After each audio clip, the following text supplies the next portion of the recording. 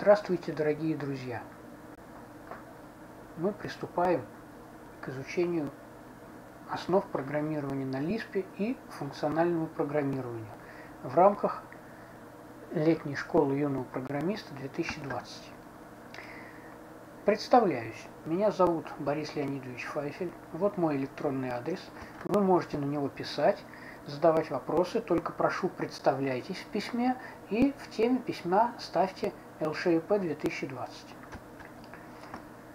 Главная цель этих достаточно коротких конспективных лекций не только вас научить Лиспу, но и дать представление о функциональном программировании в целом. А, это полезно для любого программиста любого уровня, потому что методы функционального программирования сейчас активно внедряются в обиход ну, практически любого программиста. Я предполагаю, что те, кто меня сейчас слышит, во-первых, хотят изучить новый язык. Во-вторых, они уже умеют программировать на каком-то языке, им не нужно объяснять совсем элементарные вещи. И э, мои слушатели предполагаются э, людьми, любящими математику. Ну или, по крайней мере, не чуждыми математики, потому что хороший программист с математикой должен дружить. Прежде чем приступать к основной части, давайте немножко порассуждаем. Почему стоит изучать функциональное программирование? Я попытаюсь вам это развернуто доказать. Что является главной генеральной задачей программирования как прикладной дисциплины? Программист делает программу. Так вот, генеральная задача состоит в том, чтобы эти программы, программные системы создавать эффективно, чтобы они были производительными, удобными, надежными и правильными. Слово «правильные» я взял в кавычки, потому что что такое правильная программа, еще сначала нужно четко определить. Это не такое простое понятие. Поговорим обо всех этих факторах по отдельности. Начнем с удобства. Удобство двояко. На удобство программы можно рассматривать с точки зрения пользователя. Ну, это пользовательский интерфейс. Это то, что сейчас называется робастность. А, а, прямого отношения к функциональному программированию эта тема не имеет. Поэтому мы об интерфейсе пользователя в этих лекциях говорить не будем. Хотя это очень важно. А вот удобство программы с точки зрения разработчики, разработчика это прозрачность и рациональность программного кода и его понимаемость. Это очень э, важные факторы. Вот э, э, то, что языки программирования продолжают развиваться уже более 70 лет, этому факту объясняется, это, а, объяснение этому факту состоит в том, что программисты стремятся облегчить свой процесс, сделать его более производительным и менее трудным. Э, программисты стремятся к снижению трудоемкости. Но имейте в виду, границы моего языка – это границы моего мира, так сказал один видный философ 20 э, века Людвиг Витгенштейн. Значит, если в языке, которым я пользуюсь, нет слов для обозначения каких-то понятий, то я и не смогу эти понятия обсуждать и, наверное, не смогу об этих понятиях думать. Поэтому это очень важно. Раз мы заговорили о языке, давайте посмотрим, э, через какие этапы проходило развитие языков программирования. Хронологически сначала возникли языки ассемблеров. Ну, еще раньше было просто программирование в двоичных кодах. Я об этом говорить не буду в силу того, что сейчас это анахронизм, так никто не делает. Но языки ассемблера позволяют программировать э, на низком уровне э, ну, более или менее комфортно. Для создания крупных программных систем, конечно, языки ассемблера, э, ассемблеров непригодны. Но по сравнению с программированием в кодах это был, конечно, шаг вперед. Потом появились языки высокого уровня. Фортран, Алгол, но Алгол несколько позже, через несколько лет, Кабол. Это один, это один из самых старых языков, который жив и поныне. это уже был весьма существенный шаг вперед. А программировать стало значительно приятнее, чем в кодах или даже на ассемблере. Потом появилось процедурное программирование. Это уже такой подход к программированию, при котором код при котором программные системы состоят из модулей, а модули состоят из процедур. Это уже достаточно близко к современному э, воззрению. Потом появилось объектно-ориентированное программирование. Ну, оно э, активно применяется и поныне. Использование методов объектно-ориентированного программирования уже очень заметно облегчило создание крупных программных систем. Именно крупных, потому что использовать объекты Э, для мелких программ э, не слишком целесообразно, а вот при создании крупных программ э, использование объектно-ориентированного программирования очень оправдано. Современные программы, с которыми работают люди, это, как правило, огромные системы, огромные и очень сложные системы. Объем их ну, поражает воображение. Программы могут включать в себя миллионы строк кода. И как э, работать с такими системами? Ведь большой объем порождает и большое количество ошибок. С этим как-то надо бороться. Поэтому сделать краткий, лаконичный и при этом наглядный код фактически означает снизить количество ошибок и, следовательно, повысить надежность. А что позволяет делать код кратким?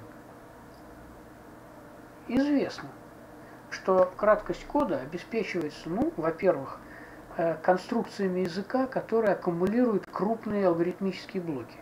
Ну, обычно это в языках сверхвысокого уровня так, но и в, в, в обычном, в C, например, или в Паскале, когда мы пишем, скажем, э, строчку for i от единицы до, до, до чего-то э, делать то-то, то на самом деле э, эта строчка заменяет довольно большой объем э, строк, ну, да, довольно большой объем команд.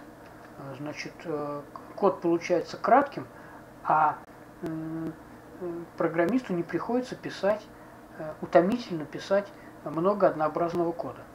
Это, значит, большие, большие алгоритмические блоки аккумулируются э, конструкциями языка, и кроме того, э, э, очень сильно выигрываем в краткости, если мы повторно используем уже написанный код. Что такое повторное использование? Во-первых, это введение переменных. Вот обратите внимание, мы вводим переменную, присваиваем ей какое-то значение, потом пользуемся этим значением много раз.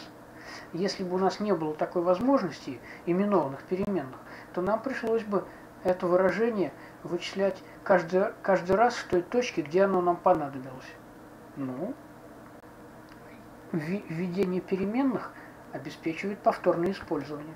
Во-вторых, циклы. Цикл – это классический способ повторного использования кода, когда мы э, одно действие обозначаем циклом и потом выполняем 10 тысяч раз, мы же не, не пишем этот код 10 тысяч раз – программа остается короткой и лаконичной, а выполняет много витков цикла.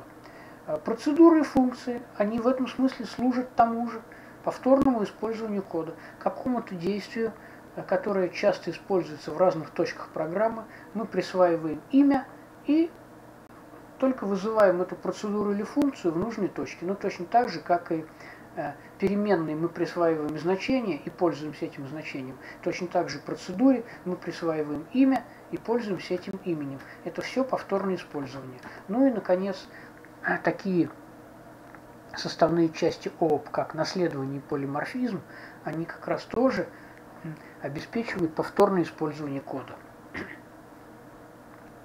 Вот. Теперь поговорим о производительности программ. Производительность – это способность программных систем давать результат за разумное время. Ну, разумное, конечно, применительно к данной задаче. Если мы пишем программу, которая, э, э, ну, скажем, э, обслуживает какой-то агрегат в реальном времени, то она должна за время меньше, чем время реакции вот этого агрегата, которым мы управляем, программа должна все вычислить. Если программе нужно больше времени, чем время реакции, э, то эта программа управлять не сможет, она будет запаздывать. Ну, в каких-то других случаях можно позволить себе программе работать и дольше. Короче говоря, разумное время применительно к задаче. Для какой-то задачи 10-минутное э, размышление – это очень хороший результат, а для какой-то задачи и 1 десятая секунды слишком долго. А как можно повысить производительность? Конечно, человечество стремится вычислять быстрее. Первый способ – это базовый. Э, конечно, выбирать производительный алгоритм. Э, ну, это вопрос теоретический. Вот. Второй, второй способ – если уж мы выбрали какой-то алгоритм, ну какой выбрали? Можно оптимизировать код. Сейчас развиты очень хорошие средства оптимизации, они автоматически, современные компиляторы умеют это делать, они автоматически оптимизируют код, э, выбрасывают лишние вычисления из циклов, например, и делают многое другое. Это на самом деле здорово. Ну и, наконец, если не помогает ни то ни другое, остается последняя надежда – это параллельные вычисления последнее время э, э, в сторону параллельных вычислений направлено много взглядов, потому что тактовая частота современных процессоров перестала повышаться. Было время, когда она повышалась вдвое каждые несколько месяцев. Это так называемый закон Мура. Но он перестал действовать. Поэтому единственный способ радикально ускорить вычисления – это использовать параллельные вычисления. Но тут проблема – Давайте попробуем разобрать эту проблему на примере простой задачи. Вот один землекоп выкапывает траншею за 16 дней. За сколько дней выкопает эту же траншею 4 землекопа? Ответ почти очевиден. За 4 дня, в 4 раза быстрее. Ну, конечно, если игнорировать человеческий фактор. Перекуры, внутренние конфликты и тому подобное. Мы считаем землекопов идеальными. Они не ссорятся, не перекуривают и умеют только копать. Тогда за 4 дня – а теперь другая задача. Программа А решает систему из 2000 дифференциальных уравнений, там с частными производными, за 10 суток непрерывной работы. Это слишком долго. Можно хотя бы за 5 суток, если использовать два компьютера. К сожалению, чаще всего нельзя. А почему? Да, к сожалению, потому что большинство традиционных языков программирования, мы с вами занимаемся языками, они рассчитаны на последовательные вычисления. И если у нас даже есть второй процессор, то не совсем понятно, куда его, чем его нагружать. Вот. Кстати, а вот архитектура компьютеров уже давно использует параллельность, очень давно. Но в языках программирования это не отражается, а граница моего языка – это граница моего мира. И если в языках параллельности нет, то мы ее, как говорится, не укусим. Видит око, да зуб не имет. Теперь поговорим о правильности программ. Это серьезный вопрос. Слово «правильность» я взял в кавычки. Почему? Ну, вообще, правильность без кавычек – это соответствие программы алгоритму. Вот у нас есть алгоритм мы по этому алгоритму пишем программу. А правильно ли мы ее написали? Вот доказательство правильности, так называемая верификация, это на самом деле сложная математическая задача. И ее не следует путать с тестированием, потому что тестирование это не математическая, это технологическая задача. Понимаете, тестирование не, доказывает, не есть доказательство правильности. Если программа прошла тысячу тестов и не сделала ни одной ошибки, это совершенно не означает, что э, на 1001 тесте программа не упадет.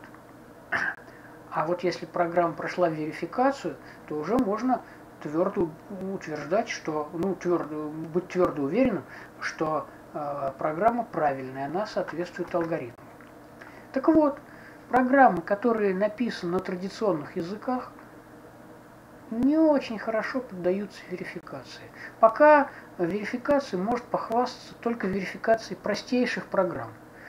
И нет, конечно, никакой речи о том, чтобы промышленные программы, скажем, продажа авиабилетов или э, что-то тому подобное, или, какой, или начинку какого-нибудь веб-сайта взять и верифицировать. Пока такой возможности нет. Вот. А теперь, когда мы все это осознали, я вам скажу, почему стоит изучать функциональное программирование. Потому что это такой подход к программированию, который позволяет писать красивый, наглядный код, который легко, легче, по крайней мере, поддается распараллеливанию и верификации. Кстати, информация к размышлению. Фирма Microsoft, а она, как известно, ничего просто так не делает, не зря, наверное, включила в состав своей студии э, функциональный язык F-Sharp. Э, мы еще э, об этом языке пару слов скажем чуть попозже. Теперь давайте сравним подходы, или есть еще такое слово, парадигма, применительно к нашим, к нашим с вами изучениям. Подход и парадигма – это почти синонимы. Давайте сравним два подхода, э, две парадигмы программирования, традиционную и функциональную. Вот традиционный подход. В традиционном подходе программа – это набор последовательных инструкций или операторов. Каждый оператор задает конкретное действие. Поэтому такой подход называют императивным. Активно используются циклы, ну а как же, куда же без циклов? Используется присвоение значений переменным. Мы теперь знаем, что циклы и именования – это их, их главное внутреннее назначение – повторное использование кода. Есть функции, которые тоже э, используются для повторного использования кода, э, но это их главное, это, это и есть их единственное и главное э, назначение. А в функциональном подходе все не совсем так. Программа это набор взаимосвязанных функций, а не набор операторов. При этом программа это не столько описание порядка вычислений, как в традиционном подходе, сколько описаний требуемого результата. Вот такое свойство называется декларативность. Функциональный код гораздо более декларативен, чем традиционный. Функции определяются друг через друга и рекурсивно через самих себя – мы сегодня с этим столкнемся, явное присвоение значения переменным не используется. Но это только в чистых функциональных языках. Lisp таковым не является. Поэтому у нас иногда будет встречаться присвоение, но не часто. И, самое главное, функции являются объектами первого рода. Функции являются такими же объектами программы, как и переменные. Их можно передавать как параметр, и их можно возвращать как значение. Вот кратко собраны главные такие родовые черты традиционного подхода и функционального подхода. Кстати, э, если это вас немножко удивляет, посмотрите. Э, язык формул Microsoft Excel – это в чистом виде функциональный подход. В этом языке, а он довольно мощный, тот, кто хорошо знает формулы Excel, чудеса может делать. Мне, например, попадалась статья, в которой на формулах Excel была реализована игрушка типа Дума. Ну, кто знает, тот поймет. Это весьма серьезно.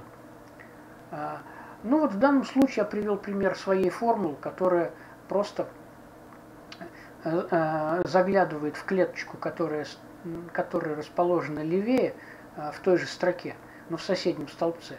И в зависимости от того, четное там число или нечетное, в текущую клетку заносит слово по-русски четное или нечетное.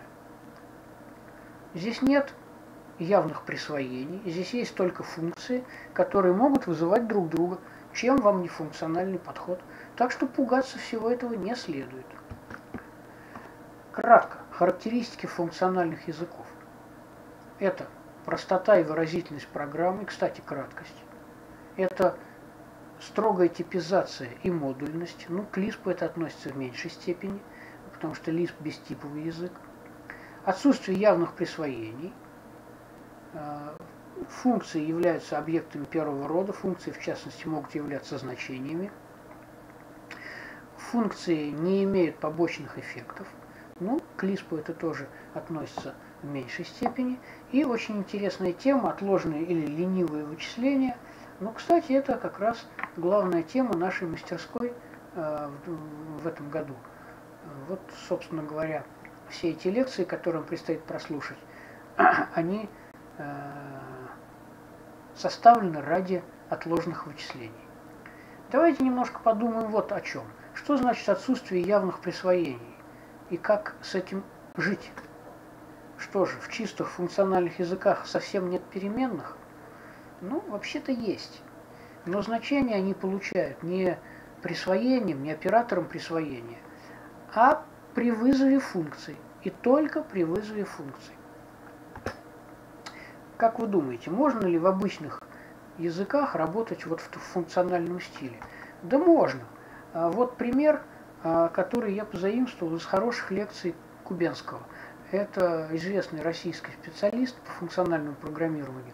Он опубликовал свои лекции в интернете, но вот из одной из этих лекций я и взял этот пример. Я на него ссылаюсь. Это я не сам придумал. Дано три вещественных числа А, Б и С. И нужно вычислить, сколько корней имеет уравнение. Не сами корни, а их количество. Ну вот на каком-то C-подобном языке можно э, эту задачу написать, э, реализовать вот так. Функция num количество корней, э, возвращает целое число. В ней внутри описана локальная переменная, дискриминант – вот мы его вычисляем, и в зависимости от знака дискриминанта может оказаться либо 0 корней, если дискриминант отрицательный, либо 2 корня, если дискриминант строго больше нуля, и в противном случае единственный корень, если э, дискриминант равен нулю. Что здесь не так? Ну, не соответствует функциональной парадигме.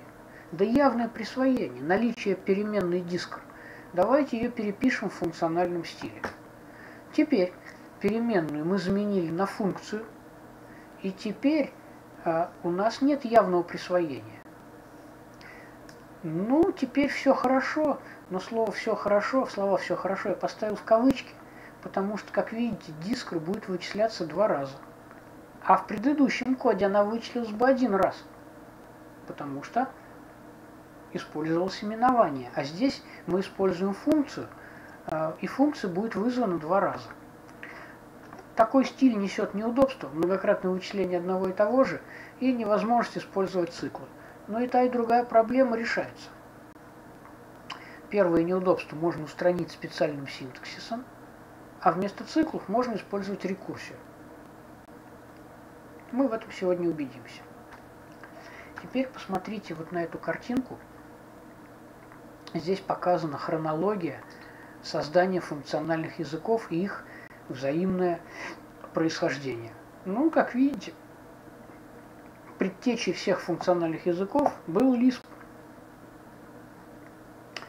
Ну, Lisp породил свое дерево, а, которое в начале 70-х разветвилось на два основных диалекта Lisp. Один из них называется Common Lisp, мы будем работать в нем, а другой называется схема. Это очень красивый язык. Э, о схеме я еще пару слов скажу. Э, первоначально он применялся только для обучения, а потом стали появляться и промышленные версии. Вот. Ну, Common Lisp есть промышленная версия. В 1994 году прошлого века он прошел стандартизацию. Вот. В 1973 году появился язык ML – MetaLanguage, который породил очень ветвистое дерево разных языков. Тут вы увидите и язык F-Sharp фирмы Microsoft в 2005 году, о чем я вам говорил раньше, э, язык Scala, э, который основан на Java машине, он транслируется в код виртуальной Java машины. Э, ну, язык OCaml, вот.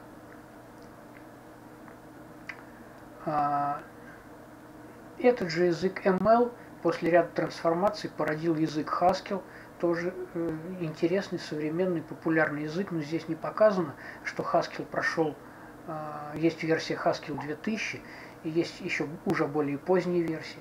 Ну и в том же э, в той же середине 70-х, в середине, в начале, в первой половине 70-х годов появился очень интересный язык пролог, ну, это язык не функционального, а логического программирования, но очень интересный, который жив по сей день. Ну, его популярность несколько снизилась, но он жив. А, и он а, в 1987 году породил язык Erlang. Это функциональный логический язык для написания коммуникационных приложений. Используется очень активно корпорацией Sony Ericsson. Так что видите, таких языков довольно много. Не все из них стали мейнстримными, э, но все они оказали какое-то влияние. Это была картинка. А тем временем, э, эм, хотя создаются совершенно новые языки, но функциональная методология оказывает влияние и на языки традиционные, хорошо опробированные. Вот появились функциональные средства в C++, в Java, э, в JavaScript, в Python. Все эти языки теперь активно используют функциональные средства. Поэтому если вы э, э, поймете то, что я вам буду рассказывать дальше, считайте, что у вас будет хорошее подспорье для того, чтобы освоить эти средства вот в перечисленных языках. А на этой картинке показаны портреты трех знаменитых математиков прошлого века, которые создали математические основы функционального программирования. Первым из них был Алонзо Чорч. Это американский математик э, прошлого века. Он создал так называемое лямбда-исчисление, из которого пошли лямбда-функции. Наверное, вы слышали это название. Во всех современных языках эта штука есть, а придумал это Чорч. Придумал не для программирования, придумал для э, разрешение парадоксов теории множеств. Но разрешить парадоксы не удалось, лямбда исчисление себя не оправдало в теории множеств. И его задвинули в долгий ящик и почти забыли на 20 лет, пока Маккарти, о нем, о нем дальше, пока о, Маккарти не придумал язык Lisp и не положил лямбда исчисления Чорча в его основу. Э, ну вот Хаскил Карри – это еще один американский математик, э, э, который тоже занимался э, теоретическими вот такими вопросами, он в честь него назван язык Хаскел. И там одно из преобразований функций каррирования, это в честь карри. Вот. Ну, это люди, которые Э, создали вот математические основы э, функционального программирования. А третьим э, создателем.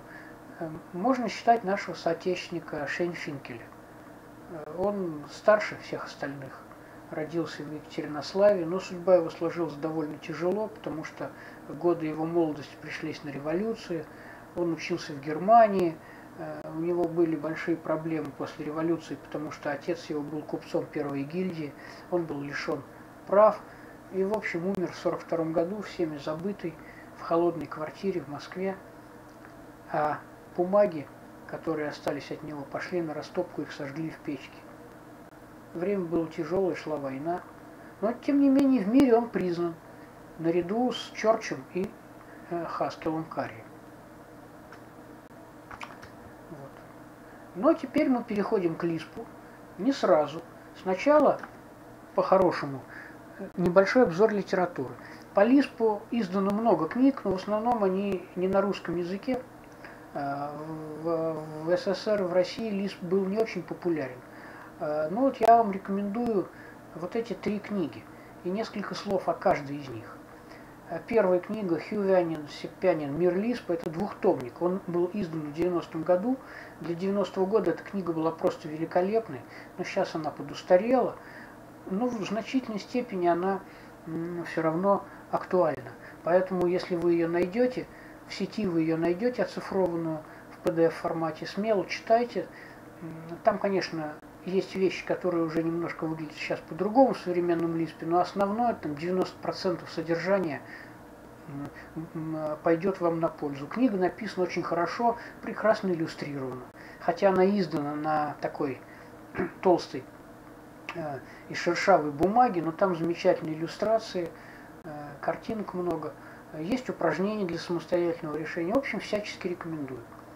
Вторая книга, автор ее Пол Грэм, это знаменитый Лиспер и вообще такой идеолог, философ программирования, возможно, э, э, вы читали другие работы Грэма, в частности, очень известна его книга «Хакеры и пейнтеры».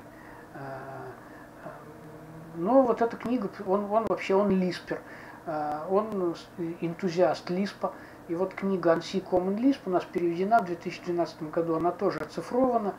Э, э, ну, она тяжеловата для первоначального знакомления с языком. Но вообще ее иметь полезно. И почитайте, получите удовольствие. Ну а третья книга – это методический шедевр. Это знаменитая SIGP, структура интерпретации компьютерных программ. У нас она была переведена достаточно поздно, а в мире она лет 30 была основным учебником для программистов э, самой высокой квалификации, потому что это МИТовский э, курс э, теоретических основ программирования. Э, МИТ – это Массачусетский технологический институт. Вот. Книга написана, с, она очень продумана, э, она, очень, она охватывает э, огромный объем информации, начиная от элементарных вещей, кончая самыми продвинутыми вопросами, и в ней много упражнений и задач для самостоятельного решения. Так что вот рекомендую. О парадигмах программирования, ведь есть не только функциональное программирование, есть и другие парадигмы. Вот в 2017 году вышла очень интересная книга Лидии Васильевны Городней в Новосибирске. Эта книга из Новосибирским отделением Академии, значит, Российской Академии Наук. А, очень рекомендую. Э, книга написана очень доступным языком и с единых позиций рассматриваются разные парадигмы программирования в разных аспектах. Книга интересная, кажется, она уже оцифрована, то есть вы ее можете найти в сети. Некоторые интернет-ресурсы, посвященные Лиспу. Их на самом деле гораздо больше, конечно, но э, я ориентируюсь, вот Lisp.ru это ну, просто один из самых старых российских сайтов, посвященных Лиспу. Там есть и решение задач, э, есть и литература, есть и блоги, самостоятельные разработки. Рекомендую. Lisper.ru – это тоже сайт э, такой, ну, с большим количеством пользователей. Он первоначально был посвящен переводу еще одной книги, которую я не включил в список литературы, Питер Зибель «Common Lisp». Тоже, кстати, хорошая книга, Э, я думаю, не хуже Грэмовской. Вот там выложен перевод этой книги. Ну и там вы найдете много интересного. HomeLisp это мой сайт, мой, то есть автор этой лекции. Э, сайт проекта HomeLisp. Это я сделал э, самодельную реализацию Lisp под Windows. В 2009 году я все это опубликовал, вот и, и с тех пор я веду этот сайт. Оттуда вы можете скачать, там есть документация, и оттуда вы можете скачать э, программу для того, чтобы работать в мастерской. И последний э, киберфорум.ру, это, вы, наверное, знаете, большой форум, э, посвященный языкам программирования и математики, и разным другим разделам. Такой научный форум. Там есть раздел «Другие языки программирования», а в ней, в этом разделе, есть два подраздела – Э, просто Lisp и автолисп в составе автокада. Кстати, там много, там решение задач, обсуждения, интересные материалы. И там вы встретите меня, потому что я модератор этого раздела. Ну, точнее, не единственный, а один из модераторов. Э, для того, чтобы работать, нам понадобится э, программа. Вот я буду пользоваться программой Home Lisp IDE, ее портабельную версию под Windows можно как раз скачать с сайта homelisp.ru. Но если вы не хотите пользоваться этой программой, вы можете пользоваться онлайн-компиляторами облачными. Вот, например, два адреса. ide1.com и gdoodle.com. А, на обоих этих сайтах можно зарегистрироваться, и тогда все ваши программы будут сохраняться в облаке, что страшно удобно. А работать можно хоть с телефона. Ну, правда, входные языки моего лиспа и стандарты немножко отличаются, я буду напоминать об этом по мере необходимости.